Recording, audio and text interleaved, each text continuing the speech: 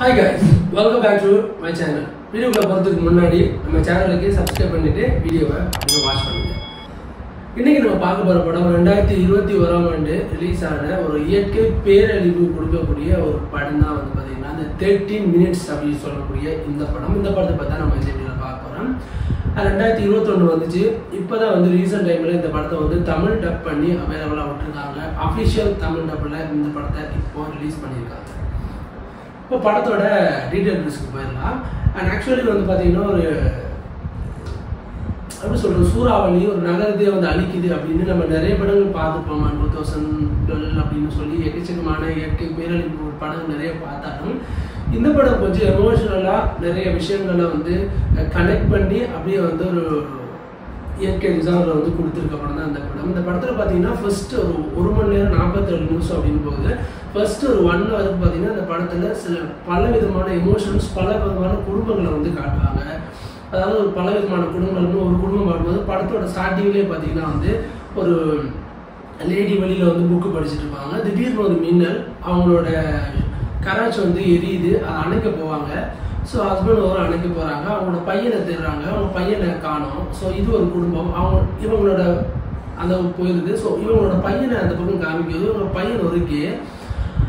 இந்த பையனாக்கள் தான் பார்த்தீங்கன்னா வந்து அவங்க வீடு ஃபஸ்ட்டு கராச்சி வச்சு அவங்க மிகப்பெரிய ஒரு தோட்டம் வச்சுருக்காங்க. விவசாயம் பண்ணுறவங்க அந்த விவசாய தோட்டத்தில் வேலை பார்க்குற ஒருத்தன் தான் வேலை பார்க்குறான். அவங்க கூட தான் இந்த பையன் வந்து கேயாக இருக்கான் இல்லையா? ஸோ இவன் அவங்க கூட வந்து கனெக்ஷன் வச்சுருக்கான். இது எப்படியாவது வீட்டில் சொல்லணும் அப்படின்னு இந்த பையன் வச்சுருக்கான் அதே சமயம் அவங்க அம்மா அப்பா பார்த்தீங்கன்னா வந்து ஒரு அவங்க இருக்கிற அந்த விவசாய தோட்டத்துலேருந்து ஒரு கிலோமீட்டர் தள்ளி இருக்கிற விவசாய கூட்டம் நிறைய சம்பாதிக்கிறாங்க நிறைய ஏர்ன் பண்ணுறாங்க என்னால் ஏன் பண்ண முடியல அப்படின்னு அவர் என்ன பண்ணலாம் அதுக்கு அப்படின்னு திங்க் பண்ணிட்டு இருக்கக்கூடிய அவர் இந்த பக்கம் பார்த்தீங்கன்னா வந்து ஒரு லேடியை காமிக்கிறாங்க அவங்க பார்த்தீங்கன்னா வந்து இந்த மெக்கானிக் ஷெட்டு மாதிரி வச்சிருக்காங்க. ஸோ அந்த பார்ட்ஸ் வைக்கிறது வண்டியெல்லாம் க இது பண்ணி கொடுக்க மெக்கானிக் அப்படின்னு சொல்லிக்கலாமே. ஸோ அவங்க அவங்களே காமிக்கிறாங்க. இந்த பக்கத்தில் பார்த்தீங்கன்னா வந்து இன்னொருத்தர் பார்த்தீங்கன்னா ஒரு ஹஸ்பண்ட் ஒய்ஃப் அவங்களுக்கு ஒரு சின்ன குழந்தை இருக்குது அந்த குழந்தைக்கு காது கேட்காது ஸோ அவங்க வந்து அவங்களோட ஹஸ்பண்ட் பார்த்தீங்கன்னா வந்து இந்த மாதிரி வெதர் டிவியில் வந்து ஒர்க் பண்ணுறாங்க வெதர் சொல்கிறாங்க இல்லையா ஸோ அதில் வந்து ஹஸ்பண்ட் ஒய்ஃப் ரெண்டு பேருமே வந்து வேலை செஞ்சுட்டு இருக்காங்க பிள்ளை வந்து காது கேட்காது. அவங்க இன்னொரு இடத்துலேருந்து இந்த வீட்டுக்கு ஷிஃப்ட் ஆகி வந்திருப்பாங்க.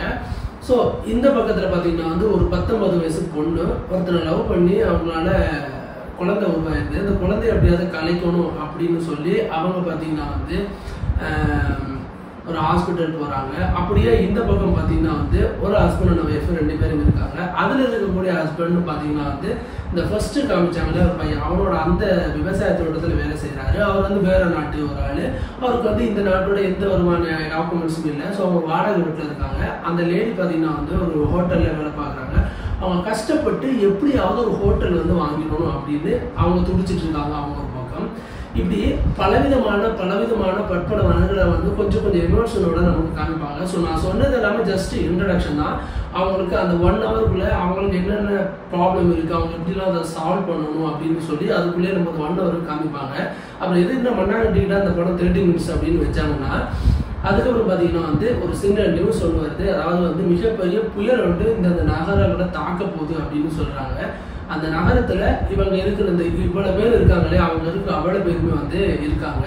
ஸோ தேர்ட்டின் மினிட்ஸ் அப்படின்றதுக்குலாம் இந்த புயல் பார்த்தீங்கன்னா வந்து பதிமூணு நிமிஷத்தில் கரையை அவங்க வந்து கரையை கடக்கும் அப்படின்னு சொல்லுவாங்க.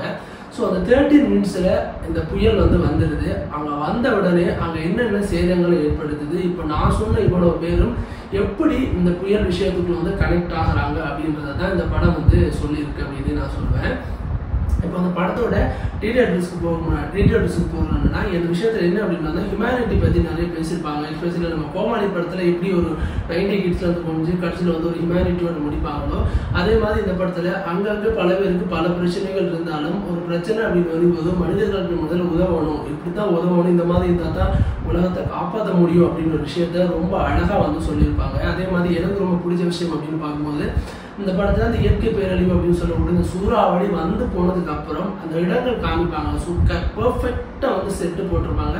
விஎஃப்எக்ஸ் காட்சி இல்லாமல் அடிக்கிற சூறாவளி விஎஃப்எக்ஸ் காட்சியா இருந்தாலும் அந்த செட்டு அப்படிங்கிறது வந்து ரொம்ப அழகா வந்து கிரியேட் பண்ணியிருந்தாங்க. ரொம்ப அழகா மேக் பண்ணியிருந்தாங்க.